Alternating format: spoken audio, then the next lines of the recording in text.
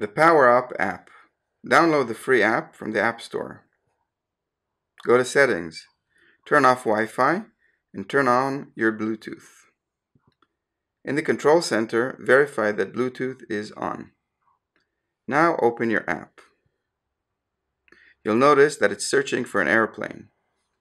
Once you turn on your module, bring it, your phone close, it'll automatically connect within two seconds. Unlocking the throttle is done by double tapping the screen. Double tapping again will relock.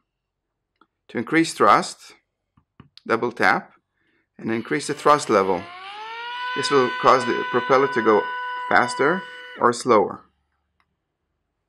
To control your rudder, tilt your phone right or left.